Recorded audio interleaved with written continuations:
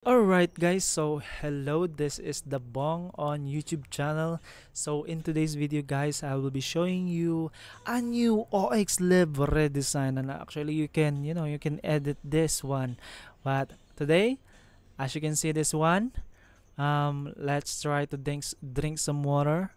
Ah, it's so beautiful and look at that notification right there. You'll see it's kind of different you know? Uh, let's try to buy something here.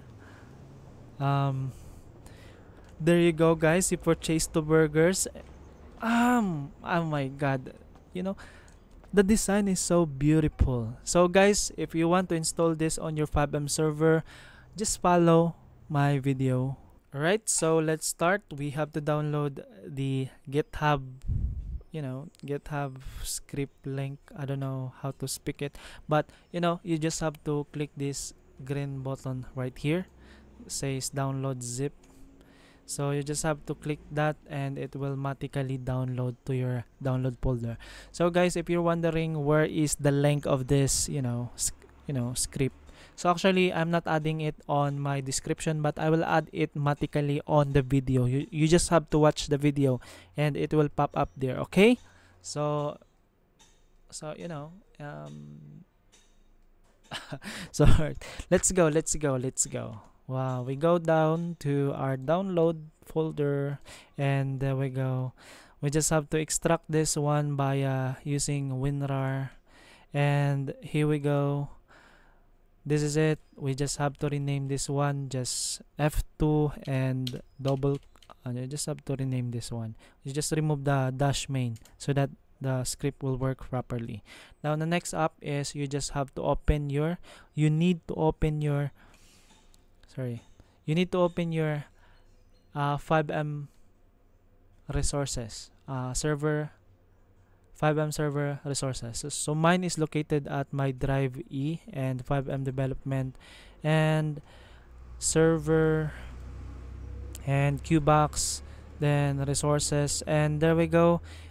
Since we're using a QBox so we are um, the OX folder is already added here.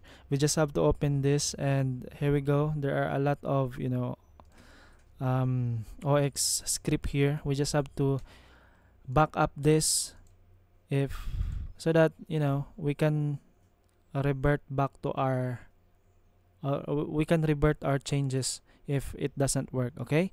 So you just have to delete this one and go back to uh, download portion and then you have to copy the folder of the script that you have downloaded earlier. Just copy this one and go back to OX and paste it here and there we go. We just have to open our FiveM and see if it will works. So first up don't forget to you know you have to restart your FiveM server. So actually I'm using a console.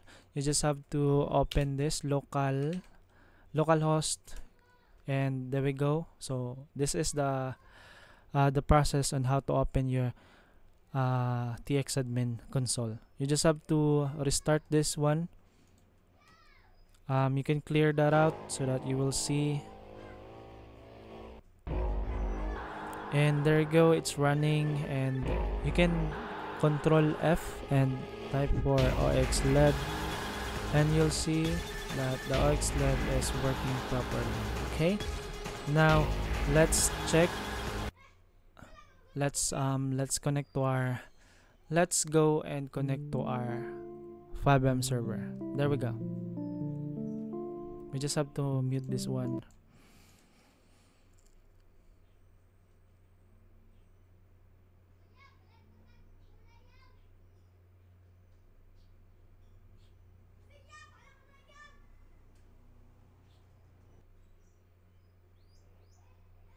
And there you go, as you can see the changes is already added here. The redesign of OX Lib is, you know, it's so beautiful. You can see this out it's you know um it's kind of like an overlay thing. Actually you can edit it. You just have to go to uh, you just have to check the link uh, the github page and you'll see this one. If you want to make changes of the design this is how you would go. Okay? So that's it. We have to open this one. Oh my god it's so beautiful. You can see this one. And there we go um let's try to eat something as you can see guys at the top right corner you will see the new design of our OX Lib. You know, it's kind of beautiful. I'm not changing it anymore. Okay, so let's go to the nearest, you know, store. Let's go there. We just have to, uh, you know, we just have to TP. All right, there we go. And here we go. There we go. We can open the shop and let's buy something. There we go guys. As you can see guys it's you know it's popping up. And when we open this burger here oh my god it's you know it's kind of different from other CDs and you know um I think you can use uh, slash oxlib there we go.